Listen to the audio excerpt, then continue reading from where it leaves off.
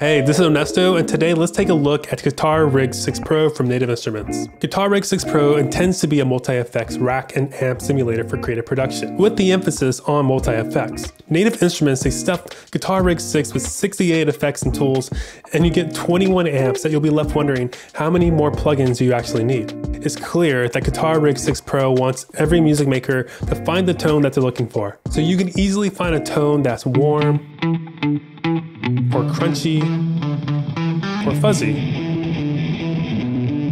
And the tones go on. If you use plugins from Native Instruments, you'll come across some effects that you're already familiar with, like the Mod Series, Replica Delay, RC24, and 48, just to name a few. Which is great because instead of having to learn a whole new set of plugins, some of these effects will help you feel right at home. And when it comes to this many effects in one plugin, I'm often a less is more kind of guy. When I first opened up this plugin, I was overwhelmed with all the options there were. I would even dare say that I wish I would have left out some of the less compelling effects. But after a few sessions, I started to discover my go-tos, and the search bar on the left is always great at helping you find the right effect. Now, many of us, myself included, we're gonna grab Guitar Rig and just use presets. There's hundreds of them, and some of them were designed by living legends like Jesse C from Maroon 5 and Phil Collen from Def Leppard. But for those of you who want much more control and customization, you won't be disappointed because there's enough depth to this plugin. So besides trying out different combinations of amps, cabs, and effects, there's two main ways that you can dive deeper into Guitar Rig 6 Pro.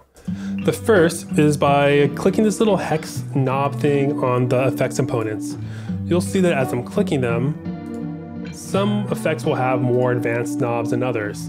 Um, so in this case, what I'm going to do is go to my replica and I would love to have more stereo width in the panning.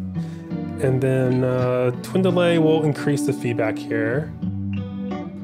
And then add more treble to the reverb, sure. Cool. And the, the, second thing you can do is click the modifier tab here in the components, and you have these little modifiers that adds all kinds of modulation to pretty much every knob inside a guitar rig. So what I would like to do is grab LFO, and then uh, let's switch over to a sine wave, and you click and drag this guy here and move it, uh, I'll move to the mix, and we'll also move it to feedback. Cool. It's going a little bit wild, a little too much, so click the hex knob once again on the modifier, and you can control the range. So this, that's a lot of modulation happening. Let's drop it by quite a bit. So although Guitar Rig 6 Pro seems like a preset machine made for lazy producers like me, with these two methods in mind, Guitar Rig 6, it offers much more than presets, and it's ready for you to do your worst. By the way, if you're finding this review helpful, please consider liking this video. But like this video, just a quick and easy way for you to support this channel. Thanks. Now I'm sure in the past Guitar Rig was best suited for guitars, but now with everything this plugin has to offer, guitars are simply just one of the many instruments that you'll want to try this plugin on. Seriously, try this plugin with anything. Try it on bass,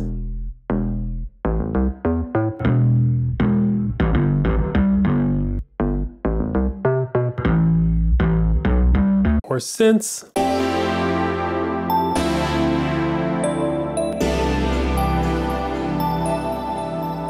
even vocals. Lately I've been losing my direction. I know, I know, I know. Cause I've been trapped inside this. Now I hope that Native Instruments keeps developing amps and effects that are better suited for instruments outside of guitar. But if that were to happen, would it even make sense to keep calling this guitar rig in the first place? Okay, before I get to my final thoughts, how much does this thing cost and where can you get it? At full price, Guitar Rig 6 Pro is $199 US or $99 US if you're upgrading from a previous version. You can also try a free demo, link down below for that. And if you're planning on picking this up, please consider clicking my affiliate link in the description. These affiliate sales, they really help me get closer to going full time with this YouTube channel, so thank you very much. All right, here's my final thoughts. With this dozens of amps and effects, with this in-depth customization and the way that it can just work with most instruments out there. Native Instruments, they've created such a fun and I would dare say essential tool for music production. Sure, I wish I would have left out some of the effects that aren't too exciting and instead replaced them with effects more geared towards non-guitar instruments, but who knows, maybe we'll be surprised by a future update, or maybe I'm asking too much from an already excellent plugin. Thank you so much for watching. Please consider liking this video so other music makers can find it. Later.